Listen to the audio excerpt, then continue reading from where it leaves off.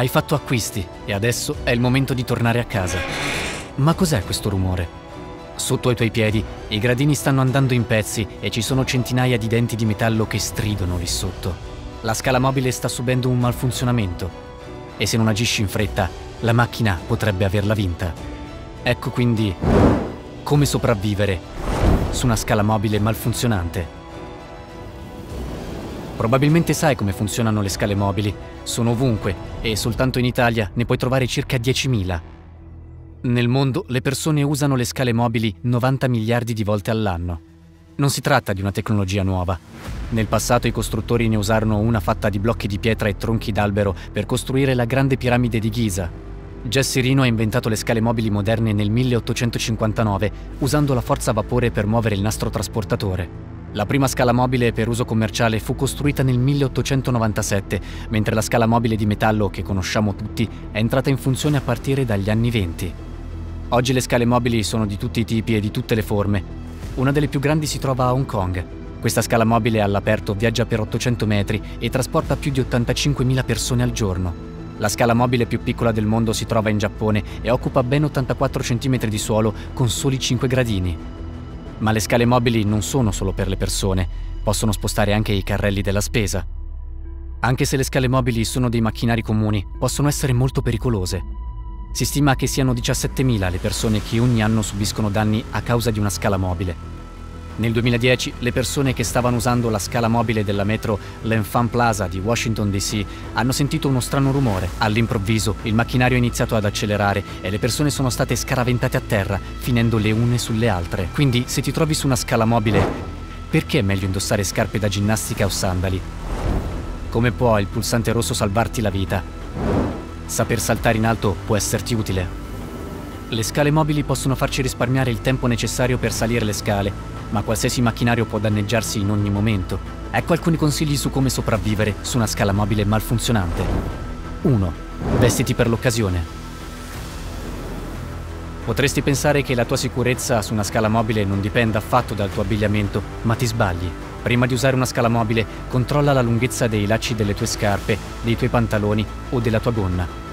Lacci delle scarpe slacciati o tessuti che toccano il pavimento possono rimanere incastrati nel meccanismo della scala mobile causandoti dei seri danni.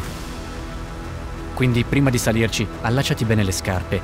Se indossi dei vestiti che toccano terra, tienili sollevati per la durata del viaggio sulla scala mobile, evitando che tocchino i gradini.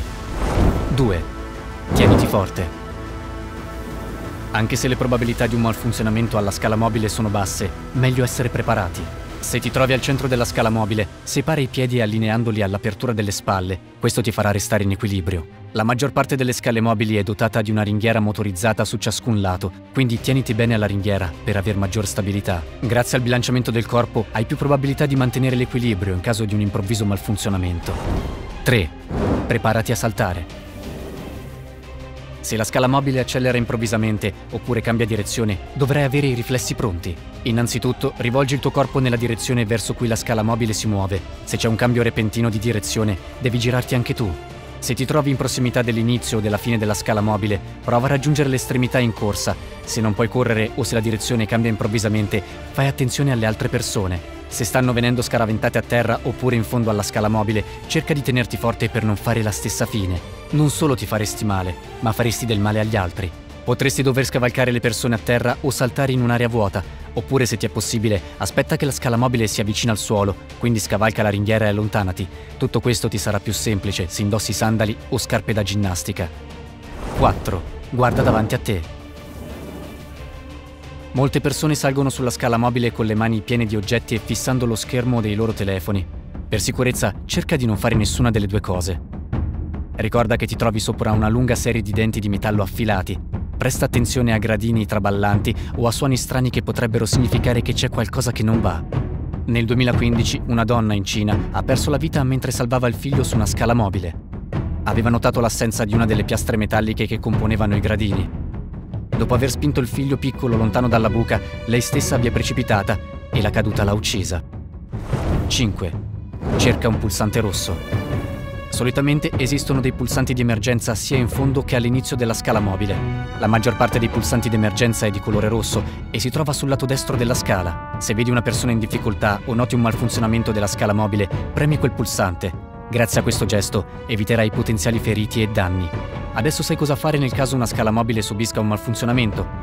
Ma cosa succederebbe se un altro noto mezzo di trasporto si guastasse, come un ascensore? Immagina di trovarti al suo interno. Cosa faresti se questo iniziasse a precipitare? Sarebbe possibile sopravvivere a un evento simile? Forza, scendi subito al quarto piano per guardare un video su come sopravvivere a un ascensore in caduta libera. Qui, su Come sopravvivere.